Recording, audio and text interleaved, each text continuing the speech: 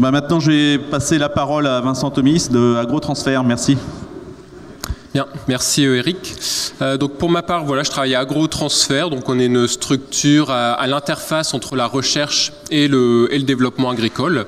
Euh, donc l'objectif, c'est notamment de valoriser les acquis de la recherche agronomique. Donc ça peut être l'INRA et puis d'autres instituts de, la recherche en France, à l'étranger. On va rechercher la ressource où elle se trouve pour ensuite valoriser ces travaux, les vulgariser auprès des, acteurs du, développement.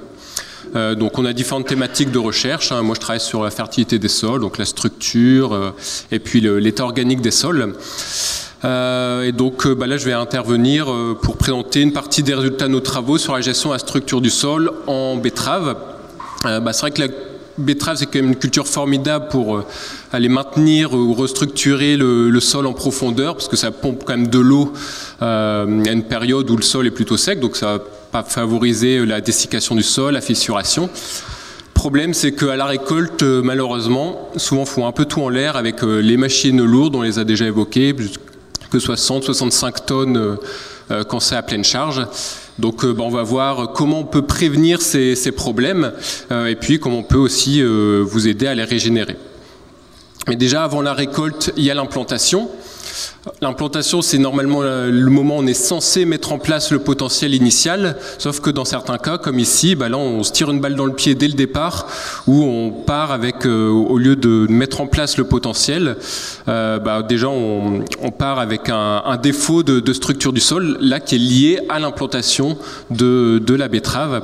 Donc là, c'était lors de la préparation, c'était au mois de mars 2018 euh, euh, où le tracteur qui est venu préparer, bon, dans des conditions insuffisamment ressuyées, des pneumatiques mal adaptées, et euh, ça a tassé le sol, et euh, on retrouve directement l'impact sur le, sur le pivot de la betterave. Donc là, c'est un impact direct sur la culture que l'on a mise en, mise en place. Et puis ensuite, ce qui a vraiment aussi attiré notre attention, qu'on a fait toute une série de profils de sol, on va dire dans le nord bassin parisien, c'était le problème de tassement plus profond, sous les horizons habituellement travaillés. Euh, comme l'on voit ici sur les, illustrations. Là, on a l'horizon travaillé qui est pas trop mal, et puis juste en dessous des, des, semelles bien, bien sévères. Euh, que l'on observe quand même assez fréquemment dans les systèmes où on retrouve assez régulièrement la betterave, la pomme de terre ou les légumes irrigués voir parfois c'est l'horizon pédologique jusqu'à 45-50 cm de profondeur où on retrouve encore des, tassements. Et le problème de ces tassements profonds, bah, c'est qu'ils sont très peu réversibles. Hein, forcément, le travail du sol n'intervient plus et puis les mécanismes euh, de régénération naturelle sont beaucoup moins actifs en profondeur qu'en surface. Voilà, donc ces problèmes de tassement, bah, voilà, on les observe, ils existent, ils sont bien réels. Euh, et en plus, ça a des conséquences sur les cultures, en particulier sur euh, l'enracinement. On avait déjà mené des expérimentations euh, sur euh, deux dates, sur, des parcelles, on avait deux dates d'arrachage des betteraves pour euh, regarder l'impact sur la culture suivante. Là, c'était sur des pommes de terre en l'occurrence. Donc une partie des betteraves a été arrachée en bonnes conditions début octobre, et une partie des betteraves sur l'autre partie de la parcelle a été arrachée en conditions plus humides en, novembre. Ensuite, on a regardé l'impact sur la culture suivante. Donc la partie à gauche arrachée en bonnes conditions. Donc là, sur la culture suivante, des pommes de terre Là, sur le profil, les zones entourées en rouge, il y en a très peu, c'était les zones tassées. Et donc, euh, on voit qu'il y a une bonne. Ensuite, là, c'est le profil racinaire des pommes de terre, jusqu'à plus de 60 cm d'enracinement. Et la partie à droite, euh, là où les betteraves ont été arrachées en mauvaises conditions, beaucoup plus de tassement. Et là, l'enracinement été bloqué à 35 cm de profondeur. Donc, on a beau avoir, nous, dans le centre des sols, à plus de 2 mètres de profondeur, mais si les racines elles sont bloquées à 35 cm, bah, c'est un peu dommage. Euh, et puis on est allé jusqu'au rendement sur un réseau de parcelles. On avait à chaque fois des, couples. Euh, on avait des arrachages en bonne ou en mauvaise condition. On peut regarder les impacts sur la culture suivante. Et là, c'est le rendement en fonction de la proportion de zones tassées qu'on a observé sur le profil visuellement. Et on voit qu'en rendement de pommes de terre, on va de 30 à 50 tonnes de pommes de terre à peu près à l'hectare selon le niveau de, de, tassement sur la parcelle. Donc des pertes de rendement qui sont vraiment pas négligeables sur des cultures sensibles comme la pomme de terre. Et puis même sur du blé, qui est quand même une culture qui est moins sensible, parce que l'enracinement se fait en période humide, on retrouve aussi des, conséquences. Là, c'est un profil sur un blé derrière un arrachage de betterave. Alors le blé, il avait été implanté en, non-labour derrière l'arrachage. Et là, on retrouve les vagues sur le blé euh, liées au passage de roue de la récolte précédente, de la récolte des betteraves.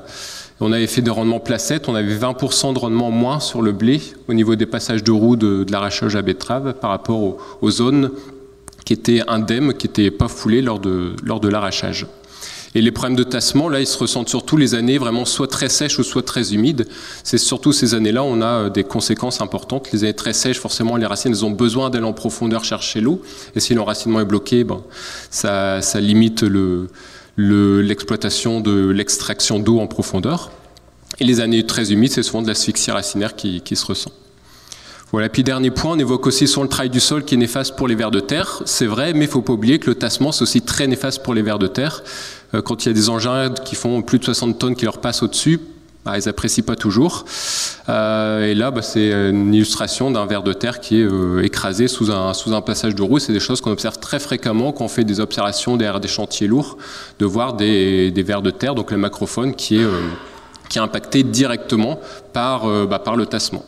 Donc euh, on évoque souvent le travail du sol, mais il ne faut pas oublier que le facteur numéro un, c'est déjà le tassement, en particulier pour les vers endogés qui vivent plutôt dans l'horizon organique, les 20-25 premiers centimètres, où ils sont très sensibles au tassement.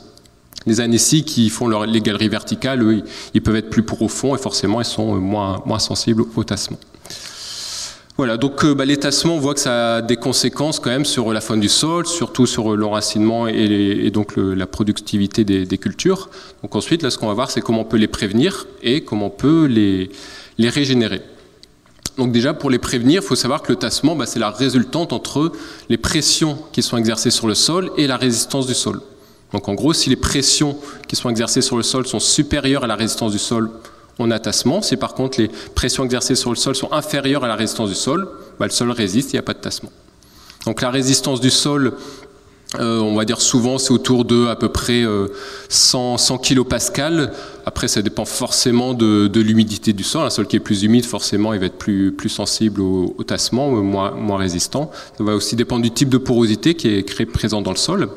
Et ensuite, les pressions qui sont exercées sur le sol, bah, c'est des, voilà, des kilos par centimètre carré, hein, donc une charge sur la surface de contact entre le sol et le pneumatique. Donc ça veut dire que si on veut limiter les pressions sol, bah, soit on diminue la charge à l'essieu, ou soit on augmente la surface de contact entre le sol et le pneumatique en jouant sur le type de pneumatique ou sur la pression de gonflage des, pneus pour qu'ils s'écrasent et euh, qu'on augmente la surface d'empreinte.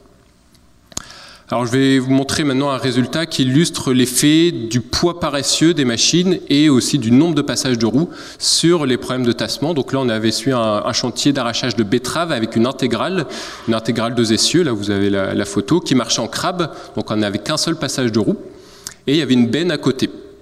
On a du coup pu comparer l'effet de l'intégrale à vide et à plein par rapport à la benne. Alors le graphique, ce qui montre, euh, c'est la valeur pénétrométrique, en gros, qu'on prenait comme un indice de tassement. Plus on va vers la droite, plus le sol est résistant à la pénétration et donc plus il est tassé, en fonction de la profondeur. En bleu, c'est la zone témoin, c'est une zone qui n'était pas euh, affectée par le, roulage lors de l'arrachage. Ensuite, en pointillé, c'était la roue arrière de l'intégrale trémie vide. Et en trait noir plein, c'était la roue arrière de l'intégrale, mais trémie pleine. Donc on avait à peu près 14 euh, tonnes à la roue quand la trémière est vide, 14 euh, tonnes par essieu, pardon, quand la trémière est vide, et 24 euh, tonnes à l'essieu quand la trémière est pleine.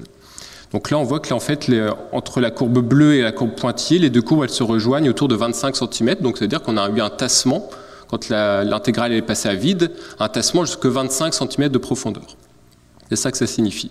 Par contre, on voit bien que la courbe noire, donc là c'est quand la trémière est pleine, Là, les deux courbes entre la, bleue et la noire, se rejoignent plutôt autour de 35-40 cm de profondeur. Donc c'est-à-dire qu'on voit bien là en fait l'effet de la charge par essieu. Quand la trémie est pleine, 24 tonnes par essieu, on tasse beaucoup plus en profondeur. c'est les, les, doigts de la physique qui font que quand on augmente le, poids par essieu, hop, les, contraintes se transmettent en profondeur. Et ensuite, on a comparé, c'est ça qui est intéressant, on a regardé la benne le tracteur qui tirait la benne, qu'est-ce que ça donnait? Donc là, c'est la courbe rouge. C'est-à-dire qu'en surface, on voit bien qu'on a, on a un tassement qui est quand même réel et qui est, qui est relativement important. Par contre, la courbe rouge et la courbe bleue se rejoignent autour de 25 cm de profondeur. C'est-à-dire qu'avec la benne, on a tassé de manière importante en surface, mais en profondeur, on n'a pas tassé au-delà de 25 cm de profondeur. Et on voit bien que ce qui occasionne le... Alors pourquoi on a cette allure de la courbe rouge, là, cette allure? On tasse davantage en surface parce qu'on a 5 passages de roue, par rapport à l'intégrale, on n'a qu'un seul passage de roue. Là, c'était une benne trois essieux, donc on a les deux essieux du tracteur et les trois essieux de la benne. Donc ça fait cinq passages de roue successifs. Donc mine de rien, quand on a cinq passages de roue, on accentue le, tassement, du moins en surface.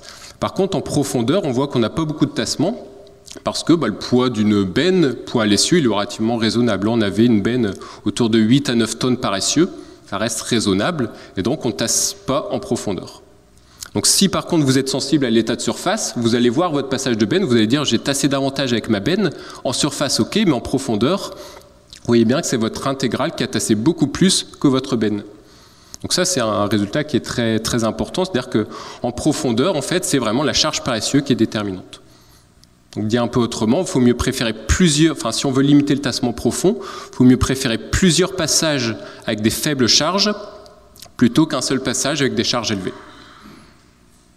Donc derrière, ça veut dire qu'il faut mieux préférer plusieurs essieux pour une même capacité. Là, par exemple, trois transbordeurs de même capacité, il faut mieux préférer plusieurs essieux. Des chantiers d'arrachage de betteraves, là, les deux chantiers ici, en bas, ils font 50 tonnes au total tous les deux. Sauf qu'à droite, le chantier avec l'intégrale, le poids est concentré sur deux essieux, alors qu'à gauche, le chantier décomposé, le poids est euh, réparti sur huit essieux au total. Bah, à gauche, le poids par essieu est divisé par 4. Donc on forcément limite le tassement en profondeur, même si on aura plus de trafic en surface du fait des nombreux passages de roues. Après, d'autres euh, solutions, si on veut limiter les tassements, bah, ça va être d'augmenter les essieux. Alors pour les intégrales, souvent c'est un faux problème. Hein, euh, j'ai vu que Conrad, il avait réutilisé, le, il a mis aussi cette photo de, l'intégrale 4 essieux. Quand on augmente le nombre d'essieux sur une intégrale, bah souvent euh, les capacités de trémie, elles augmentent euh, également. Donc finalement, c'est un faux problème parce que bah, le poids par essieu, il reste toujours à peu près là. Par contre, quand on commence à, passer sur des chantiers décomposés, des petites intégrales, et si on augmente la largeur d'arrachage et qu'on passe en 12 rangs, bah là déjà on limite la surface affectée par le tassement, parce qu'on passe que tous les 6 mètres. Et en plus, on limite la charge par essieu, euh, en particulier avec le chantier d'arrachage 12 rangs décomposés. Donc là, c'est un, entrepreneur euh, dans le, dans le Santerre qui a importé le chantier Alloways, donc c'est un chantier 12 euh, rangs qui est répandu aux États-Unis. Il l'a importé et adapté aux conditions françaises. donc c'est voilà une, une, solution pour à la, fois limiter les impacts, l'étassement profond et limiter aussi la surface affectée par l'étassement. Donc là, c'est pour limiter du coup l'étassement profond. Ensuite, si on veut limiter les tassements en surface, là, le pneumatique a tout son intérêt, en particulier la pression de gonflage. Euh, là, c'est deux pneumatiques de 900 qui sont gonflés à gauche à 1,5 bar ou à, droite à 0,8 bar. On voit qu'en diminuant la pression de gonflage, on augmente la longueur de la surface d'empreinte. Il y a à peu près un crampon de plus qui touche au sol. Et donc, on augmente, euh, enfin, donc, du coup, on réduit les pressions qui sont exercées sur le sol. Donc si on réduit ces pressions exercées sur le sol, on va limiter le, tassement. Et les, pneumatiques, c'est un rôle énorme par rapport au tassement en surface sur les 20-25 premiers centimètres. Autre facteur aussi qui joue sur le tassement au niveau de la résistance du sol, ça va être le type de porosité initiale. C'est-à-dire que dans le sol, on a trois types de porosité. Il y a la porosité d'assemblage qui est liée au travail du sol. Quand vous labourez, vous passez un coup de chisel, ça va créer de la porosité d'assemblage. Ensuite, on a la porosité fissurale, qui est plutôt liée euh, bah, aux fissures euh, créées par les alternances humectation-dessiccation. Et ensuite, la porosité tubulaire qui est plutôt liée à la biologie du sol, les galeries de vers de terre ou euh, passage de, racines. Donc on avait fait une expérimentation avec l'INRADREN qui permettait, avec un logiciel d'analyse d'image, de reconnaître le type de porosité qui est affecté par le tassement. Donc on l'avait fait sur un chantier de, récolte de maïs. On avait prélevé un bloc de sol avant la récolte. Et donc voilà le, type de porosité que l'on avait. Alors c'était une parcelle qui était labourée et euh, enrichie avec euh, pas mal d'apports de fumier. Donc il y avait beaucoup de, de vers de terre, donc beaucoup de galeries, de vers de terre, donc beaucoup de porosité tubulaire, assez peu de porosité fissurale parce qu'il y avait assez peu d'argile sur la parcelle, et puis beaucoup de porosité d'assemblage parce que c'était une parcelle labourée. Et ensuite, la moissonneuse est passée, on a fait un prélèvement juste derrière le passage de la moissonneuse. Et toute la porosité d'assemblage qui était présente, elle a complètement diminué. Donc ça veut bien dire qu'en fait, le travail du sol qui crée de la porosité, ça crée de la porosité, mais qui va être très sensible au tassement. Et on voit que ici, bah, la seule porosité qui a résisté, c'est surtout la porosité naturelle. Les fissures, alors il n'y en avait pas beaucoup, mais elle a bien résisté. Et les porosités tubulaires, les galeries de verre de terre, ça a quand même diminué en vert ici. mais ça, ça a quand même pas mal, pas mal résisté au tassement. Donc, ce qui signifie qu'en fait, quand vous avez de, la porosité plutôt verticale, des fissures, des galeries, bah, c'est de la porosité qui va rester beaucoup mieux au tassement que de la porosité issue du travail du sol. Là, on le voit, je ne sais pas si vous voyez sur la, photo, c'est un mini profil où on avait une zone tassée, et là, il y a une galerie de verre de terre qui a résisté au tassement. Euh, qui, avait lieu sur, euh, sur la parcelle. Donc attention quand vous travaillez le sol à pas trop fragiliser votre structure parce que souvent ça va, ça va rendre le sol plus sensible au, au futur euh, tassement. Voilà, donc après le travail du sol, il veut quand même participer à, régénérer le sol s'il est fait en bonne, en bonne condition, pour donner un petit coup de pouce. Des fois, ça peut être, ça peut être nécessaire, mais vraiment, faut vraiment faire attention à ce que ce soit en bonne condition et en particulier pour le décompactage. Là, par exemple, en bas, vous avez une illustration d'un décompactage en conditions trop humides. on revoit toutes les dents, tous les passages de, lames de décompactage. Euh, là, ici, c'est comme passer une lame de couteau dans du beurre, ça n'a rien fait de bon. Parce que, en l'occurrence, là, le travail du sol a été fait en conditions trop humides sur, euh, sur la parcelle. Donc attention aux conditions d'intervention. Et puis attention aussi à ne pas vouloir créer trop de porosité. Là, on avait fait une expé intéressante avec euh, Arvalis sur du lin, donc du lin qui est une culture très sensible au tassement. C'était une parcelle qui était en non-labour permanent. On a tassé une partie, une partie qui n'a pas été tassée, et euh, une autre partie qu'on a labourée euh, sur, sur ce lin. Donc on avait quatre modalités finalement, non labour, tassé, non tassé et labour, tassé, non tassé. Et finalement, quand on regarde la biomasse du lin, là où la biomasse est le plus faible, c'est en labour tassé. Pourquoi? Parce que le labour, a créé beaucoup de porosité, et cette porosité, a été complètement détruite par le tassement qui a été réalisé euh, en sortie d'hiver. On a pris un, tracteur qu'on a passé roue dans roue pour créer un tassement un peu artificiel pour euh, les besoins de l'expé. Et là où le, lin a, accusé le plus, c'est vraiment la modalité labour tassé, parce que le labour il a créé de la porosité qui a été fortement retassée le, par le chantier. Ensuite, on retrouve le, labour, le non-labour tassé. Ensuite, les deux modalités de tête, c'est euh, non-labour sans tassement et labour sans tassement. Mais on voit quand même que le labour sans tassement, il est inférieur au non-labour sans tassement. Et quand on regarde un peu plus près les faciès, on comprend vite, en fait, voilà le type de porosité qu'on avait en labour. Alors quand on regarde, euh, qu'on n'est pas forcément expert, on peut dire bah super, il y a plein de porosité, c'est génial. Sauf qu'en fait, ici, on a un excès de porosité.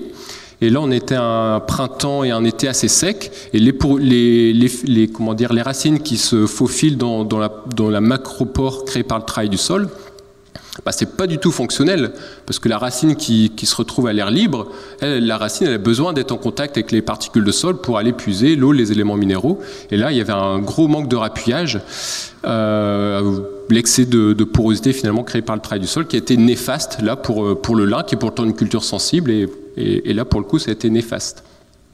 Après, là, on voit le type de faciès en labour tassé, c'est-à-dire qu'en fait, toute cette porosité qui a été créée par le, par le labour, quand on a passé un tracteur, bah, toute cette porosité, s'est complètement effondrée. Et là, finalement, le profil le plus tassé, c'était en labour, modalité tassé. Ensuite, en non-labour, non tassé, on retrouve ce type de faciès. Finalement, on voit qu'on n'a pas un excès de porosité, mais cette porosité, elle est bien orientée. On a beaucoup de micro-porosité, on a des fissures, on a des galeries de verre de terre comme ici. Et finalement, c'est ce type de, faciès qui a permis la meilleure biomasse du lin. Donc, comme quoi, il ne faut pas du tout chercher un excès de porosité dans le sol. Et ensuite, la modalité non labour tassée, on voit que finalement, les quelques galeries de verre de terre qu'on avait, euh, qui étaient présentes, ben, elles ont quand même résisté au tassement. C'est pour ça que le, le non-labour, il a beaucoup mieux résisté au tassement que la modalité labour. Donc c'est quand même riche d'enseignements parce que ça montre qu'il ne faut pas du tout chercher un excès de porosité dans le sol euh, pour euh, permettre le développement des cultures. donc ensuite, si on veut réduire complètement le travail du sol, bah là, c'est-à-dire qu'il faut optimiser vraiment la restructuration naturelle. Donc soit par les vers de terre, là vous en avez un qui est en train d'être pris en, pleine action à partir d'une zone qui est, qui est tassée, qui est en train de, régénérer la zone tassée. Donc voilà le type de faciès d'une zone tassée, d'une zone qui a été régénérée par l'action des vers de terre. Hein, ils, bouffent le sol et puis euh, toute leur déjection derrière, les petits agrégats biologiques qui participent à, la régénération. Alors un sol biologiquement actif, les vers de terre sont capables à peu près d'ingérer 300 tonnes de, terre par hectare et par an, c'est équivalent à, peu près à un dixième de la couche arabe, donc c'est vraiment pas euh, négligeable. Euh, ensuite, le climat, alternance humectation, dessiccation, gel-dégel, ça va jouer, mais à condition qu'on ait quand même un minimum d'argile. Et c'est un phénomène qui est aussi plus en surface, qui est forcément moins, actif en profondeur. Et puis par rapport à l'effet des racines, on avait aussi beaucoup de questions sur bah, est-ce que les racines des cultures, des couverts végétaux sont capables de régénérer des sols tassés? Et il y a très très peu de, travaux un peu scientifiques là-dessus. Donc nous, du coup, on a mené une expé. Donc déjà, on a cherché une parcelle qui était tassée pour euh, avoir une, situation tassée au départ. Et puis, on a euh, créé une, bah, une, expérimentation avec trois modalités, sol nu, euh, et puis deux espèces, on avait avoine et radis. Et puis on a regardé du coup bah, comment les racines colonisaient ce profil, à quelle vitesse, est-ce qu'elles passaient à travers la zone tassée, et puis surtout est-ce qu'elles permettaient d'améliorer la structure du sol. Donc déjà, on, a fait l'expé en 2017 et 2018. Donc on a eu des couverts qui étaient quand même assez bien développés. On a eu 3-4 tonnes de matière sèche de, ces couverts ces années-là. Donc déjà la première chose qu'on a regardé, c'est est-ce que les racines permettaient de coloniser l'ensemble du profil de sol en l'espace de quelques mois lors d'une interculture. Alors le graphique ici, donc c'est la, hop, le pointeur. Donc là, c'est la densité racinaire en fonction de la profondeur. Donc plus on va vers la droite, plus on a de, racines. Donc en fonction de la profondeur. En, rouge, c'est le radis et en noir, c'est le l'avoine. En très plein, c'est à 500 degrés jour, donc en gros un mois et demi après le, le semis. Et en très pointillé, c'est à 1000 degrés jour. Donc c'est à peu près 3-4 mois après le semis environ.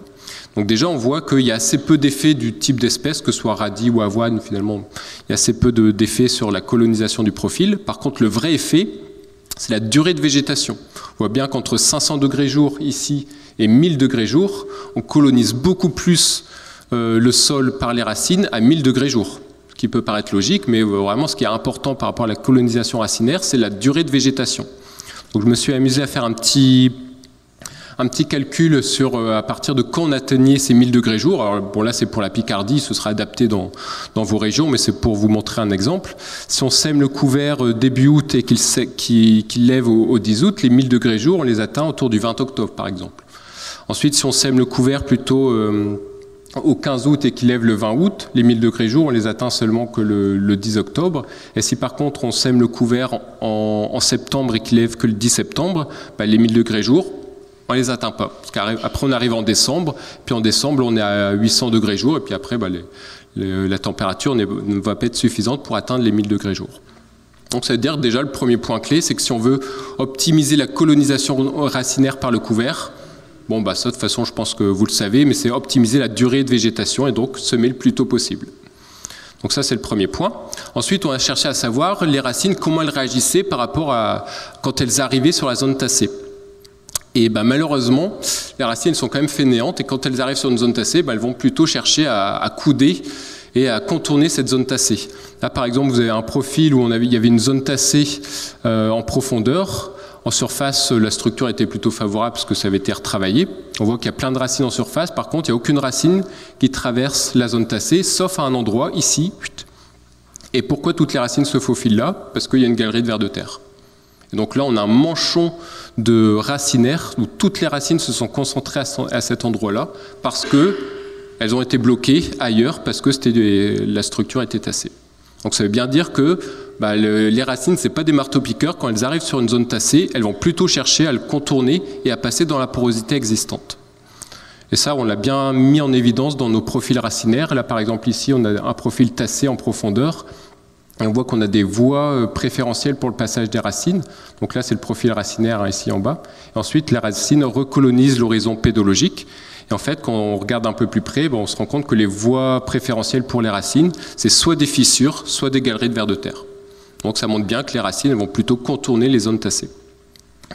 Ensuite, on a quand même essayé de voir, ben, ok, elles contournent les zones tassées, mais est-ce qu'elles sont quand même capables de régénérer ou d'améliorer quand même la structure du sol ou pas? Et donc, euh, on a regardé déjà au niveau du faciès. Euh, là, c'est euh, différents types de, structures qu'on peut observer visuellement. Donc là, c'est des structures tassées. On en avait beaucoup dans notre profil parce qu'on a choisi exprès une situation tassée pour les besoins de l'expé. Ensuite, là, on a un faciès tassé mais fissuré. Et là, on a un, faciès de structure très, très favorable. Et en fait, ce qu'on observe, c'est que, bah, comme on pouvait s'en douter, on ne passe pas d'une structure très tassée à une structure favorable, comme ça en quelques mois, par l'effet des racines. Bon, ça on peut s'en douter. Par contre, entre deux, alors le graphique est peut-être un peu difficile à, comprendre, mais je, passe rapidement sur les conclusions. En fait, ce qu'on observe, c'est qu'à chaque fois entre deux dates, la date septembre, c'est l'observation euh, à l'implantation du couvert, et ensuite fin novembre, c'était pratiquement lors de la destruction du couvert. On a réduit la proportion de zones tassées, et par contre, on a augmenté la proportion de zones qui toujours tassées, mais fissurées. Et pourquoi ces zones elles ont été fissurées en l'espace de quelques mois? Bah, Tout simplement parce que la culture intermédiaire elle a pompé de l'eau. Et en pompant de l'eau, bah, elle favorise la dessiccation du sol. Et avec cette phase de dessiccation, ça crée des fissures. Et donc du coup, à partir de faciès comme ici tassé, on obtient ce type de faciès, on augmente la proportion de, de, faciès où c'est toujours tassé, parce que ça ne fait pas de miracle, mais c'est fissuré. Et à partir du moment où c'est fissuré, bah, là c'est gagné, parce que les racines derrière, elles peuvent passer dans la fissure. Euh, le, gel, il va être beaucoup plus actif aussi pour exploser, les zones euh, qui sont déjà un peu fissurées. Donc là, ça participe grandement à la régénération de la structure du sol. On a regardé aussi l'infiltration de l'eau, donc on a décaissé l'horizon, euh, la structure favorable en surface, on s'est mis sur l'horizon tassé. On a regardé l'infiltration de l'eau, donc on met des, voilà, des, comment dire, des, canettes et puis on, verse de l'eau, on regarde les vitesses à laquelle l'eau s'infiltre. Et donc là, c'est les résultats. En sol nu, on avait très peu d'infiltration. On augmente quand même euh, l'infiltration, euh, surtout en modalité avec le radis, également aussi avec la modalité avoine. Donc visuellement, on voit qu'on a beaucoup plus de fissures et on augmente aussi la perméabilité à l'air, l'infiltration de l'eau par l'effet des racines. Donc on a quand même un effet bénéfique des racines découvertes sur euh, l'amélioration de la structure du sol par l'effet finalement indirect que les cultures pompent de l'eau et donc participent à la fissuration. Ensuite, pour que cet effet soit durable, notamment les galeries de vers de terre, les passages de racines, bah, il faut aussi veiller au bon euh, entretien organique du sol. Euh, parce que sinon, bon, on se retrouve avec des, comment dire, racines qui sont plus du tout fonctionnelles parce que bouchées par du limon fin. Là, par exemple, c'est ce qu'on observe assez régulièrement quand on fait des profils dans des sols limoneux notamment. On avait une galerie de vers de terre ici, mais qui est plus du tout fonctionnelle parce qu'elle est complètement bouchée par du limon. Et là, c'est un défaut d'état organique du sol. Euh, ce qui a créé cette descente de limon, c'est tout simplement un, défaut de stabilité structurale hein, avec le complexe argilomie qui permet d'avoir des agrégats stables entre les particules de limon, d'argile et de, et de matière organique donc s'il y a un manque de matière organique, forcément ce limon fin, il est vite entraîné par la pluie et vient boucher les galeries de, enfin, les galeries de verre de terre ou, la porosité. Alors un autre effet de, qui illustre l'entretien organique du sol, là c'est une parcelle de blé qui était récemment remembrée. Donc s'il y a eu un arrachage de betterave, ensuite un semis de blé en conditions un petit peu tardif et une forte pluie rapidement après le semis du blé, euh, et ici, donc là, c'est vraiment le, même agriculteur qui cultive la parcelle, sauf qu'auparavant, quelques années auparavant, c'était deux, agriculteurs différents avant le remembrement. donc la partie à droite, c'était auparavant un éleveur qui a apporté assez régulièrement du fumier et puis travaillait aussi assez peu profondément, autour de 20 cm de profondeur son sol. Et la partie à gauche, c'était un agriculteur qui avait des, des, pratiques plutôt avec des cultures, betteraves, pommes de terre, légumes, beaucoup moins de restitution organique, le travail du sol plus profond à 30 cm, et là on a 1,4% de matière organique, et à droite on a 2,2% de matière organique. On voit très clairement l'effet de l'entretien organique sur le fonctionnement du sol, et là sur le comportement du sol après une forte pluie. Donc ensuite, pour savoir si vos pratiques, elles vont euh, permettre de plutôt euh, favoriser le, enfin plutôt permettre de stocker du carbone et donc de la matière organique dans le sol, ou si au contraire elles vont plutôt participer à dégrader l'état organique du sol, ce qu'il faut faire, c'est un bilan mic hein, qui consiste à comparer les entrées et les pertes de carbone dans le sol. Donc les entrées, elles proviennent des résidus de culture principalement, résidus aériens, faut pas oublier toutes les racines, racines et plus exudat racinaire, c'est un apport qui est vraiment pas négligeable. Donc ça pour les cultures principales, mais aussi pour euh, les cultures intermédiaires, et puis les éventuels euh, apports organiques, s'il y en a. Donc ça, c'est les entrées de carbone qui viennent enrichir le, pool de, carbone, donc de matière organique dans le sol. Ensuite, on a des pertes, pertes de carbone qui proviennent de la minéralisation de la matière organique par l'effet des micro-organismes. Donc euh, ce qui va jouer, c'est le climat, température, humidité. Plus il fait chaud, plus il fait humide, plus les micro-organismes sont actifs, et plus ils vont dégrader le carbone. Le type de sol et le mode de travail du sol qui vient accélérer légèrement les processus. Euh, voilà, notamment en, réchauffant le sol, en stimulant légèrement la minéralisation et, surtout en diluant la matière organique dans le profil.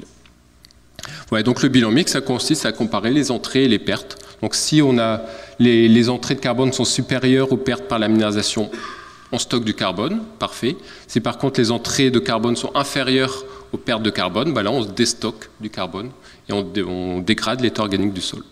Donc les leviers agronomiques disponibles, ça va être la gestion des résidus de culture, les, cultures intermédiaires, votre biomasse notamment, espèces et surtout biomasse et les fréquences, et éventuellement les apports de produits organiques. Et puis ensuite, au niveau des, pertes, c'est le, travail du sol, et en particulier la profondeur de, travail du sol, qui est le, levier le, plus puissant, notamment par rapport à la répartition des matières organiques. Voilà, donc euh, nous, à AgroTransfert, on a développé un petit outil qui s'appelle Simeos AMG qui permet justement de simuler l'évolution des, teneurs et des stocks en, matière organique. Donc il est accessible librement sur Internet, une version de démo qui est accessible librement et qui permet justement à partir de données simples de l'exploitation, de pouvoir euh, voir où est-ce que vous en êtes, ce que vous euh, stockez ou vous déstockez de la matière organique dans vos parcelles. Donc il suffit de rentrer votre type de sol, votre euh, d'avoir le comment dire de mettre le, poste climatique le plus proche de chez vous. Et ensuite vous rentrez vos, votre rotation culturelle, vos, vos, pratiques, et puis voilà ce que vous sort l'outil, c'est l'évolution de la teneur en carbone ou euh, exprimée en carbone ou en matière organique en fonction du temps. Donc là, j'ai pris un exemple potentiellement problématique avec une rotation betterave, euh, pommes de terre, légumes. avec un labour assez régulier euh, et puis un engrais vert euh, une, année sur trois. Et donc on voit qu'on dégrade l'état organique du sol, bon, ce qui n'est pas déconnant vu le système de départ assez, euh, où il y a assez peu de restitution organique. Ensuite, bah voilà, on peut tester de différents scénarios. soit on augmente les restitutions humiques, là par des apports de compost, où on booste un peu les, les engrais verts, on les met plus fréquemment. La courbe verte, on voit qu'on arrive à stabiliser la situation. Un deuxième scénario, joue sur le travail du sol. Je réduis l'intensité du travail du sol et la profondeur de, travail du sol et on voit qu'on arrive à, augmenter légèrement la teneur. ensuite, si on combine les deux, on augmente les restitutions et on réduit le travail du sol, on voit qu'on arrive à améliorer euh, les, teneurs en, matière organique dans le profil. Donc là, c'est un exemple d'utilisation de l'outil. Mais voilà, je vous invite euh, à regarder ce que ça donne sur votre propre exploitation, puis à tester tout un tas de scénarios pour voir si vous êtes plutôt, euh, vos pratiques participent à, stocker ou au contraire à dégrader euh, l'état organique de, votre, de votre sol. Voilà, et puis bah, là, c'était le, graphique que, que Maxime avait repris, là, qui montrait justement le, les niveaux de restitution pour différents types de cultures qui est relativement intéressant parce qu'on voit bien du coup la classification des, cultures, que les cultures qui restituent plus de matière organique, bah, c'est le colza, maïs grain, blé où on restitue les pailles, ça va être les cultures qui produisent le plus de biomasse. Et au contraire, les cultures qui sont ici un peu à la traîne, euh, bah, ça va être nos cultures légumières, euh, l'infibre où on exporte même une partie des racines, euh, ou alors le, le bon, pomme de terre également. Et ensuite, ici avec le trait rouge, hop, si ça veut bien aller.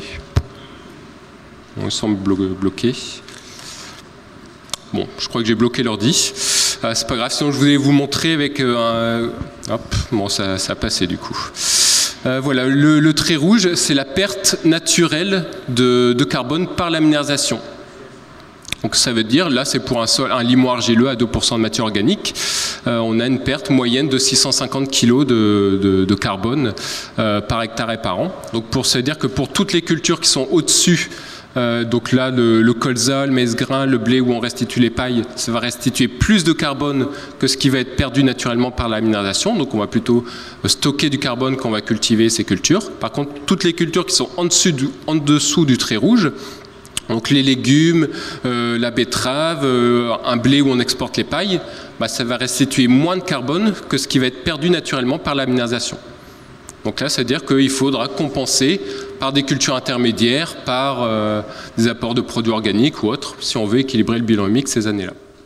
Donc voilà quelques, quelques exemples pour ensuite bien gérer l'état organique du sol, qui est hyper important bah, pour permettre la résilience de vos sols, notamment par rapport à la stabilité structurelle, et puis euh, pouvoir maintenir également la, porosité qui va être créée.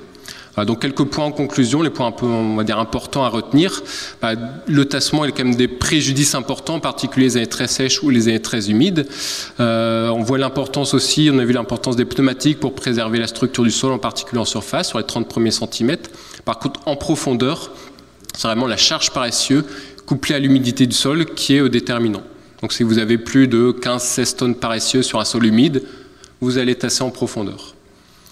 Et après, bah, ces tassements profonds, la problématique, c'est quand même qu'ils sont très difficilement, euh, euh, enfin, qu'ils sont très durables, euh, parce que bah, les mécanismes de régénération naturelle sont beaucoup moins actifs en profondeur qu'en surface.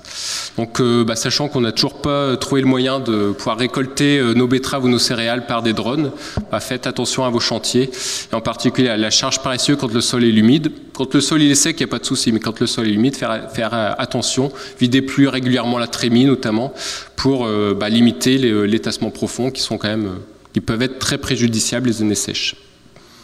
Voilà, je vous remercie de votre attention.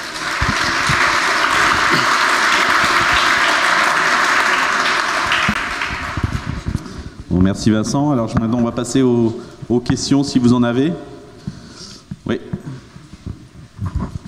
Euh, est-ce que je me trompe en disant que la résistance du sol, là, dont tu parlais en début de, ton exposé, elle améliore elle est améliorée avec le semi-direct ou le strip-till ben, du coup, la résistance du sol en semi-direct, euh, forcément, on va avoir une porosité différente qu'en labour ou en travail du sol, parce que bah, on n'a plus cette porosité d'assemblage qui est liée au travail du sol, on va plutôt trouver de la porosité qui est liée euh, aux galeries de verre de terre, au passage de racines, aux fissures. Et en effet, cette, cette porosité elle est beaucoup plus résistante au tassement que la porosité qui est liée au travail du sol.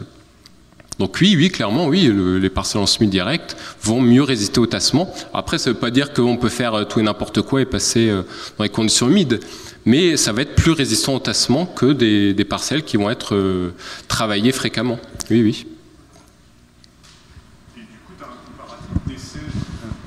Du coup, est-ce que tu as un comparatif d'essai de, de, comment, de tassement de sol entre euh, semi-direct en betterave et, euh, et, labour, là, comme tu nous as montré tout à l'heure? Malheureusement, non. c'est vrai que les parcelles de semi-direct en betterave, ça court pas les rues. Mais non, non, il faudrait euh, qu'on puisse travailler là-dessus et notamment regarder aussi les impacts un peu à, long terme aussi. Mais non, on n'a pas, on n'a pas de résultats directement. On a pu voir que le, euh, comment dire, de, des horizons, on va dire, non travaillés vont mieux résister au tassement. On n'a pas pu comparer euh, des, parcelles en semi-direct de longue date par rapport au labour. Mais bon, en tout cas, on continue à travailler nous sur cette thématique et on va être amené prochainement à pouvoir travailler sur, euh, sur cette question-là.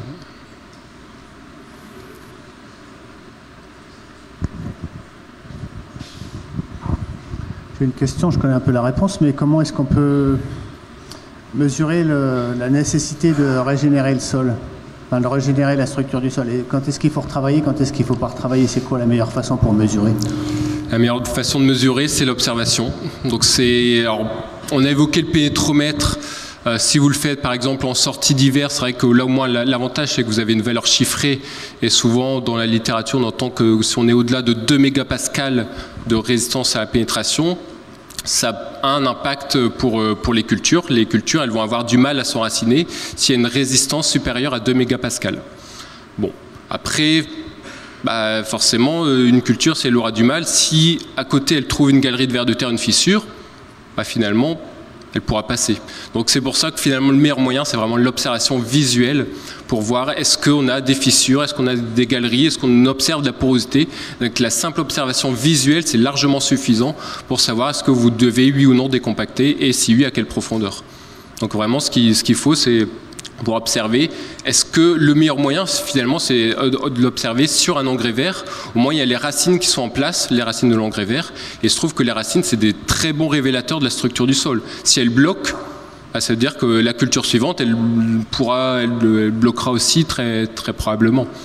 Par contre, si votre culture intermédiaire, les racines, elles se faufilent dans le sol convenablement, bah, vous pouvez penser que votre betterave, votre pomme de terre, votre lin derrière, il va se faufiler aussi euh, très facilement. Donc le meilleur moyen, c'est l'observation et en, priorité sur euh, une culture intermédiaire en place, observer la manière dont les racines se comportent, est-ce qu'elles passent euh, ou est-ce qu'elles sont bloquées.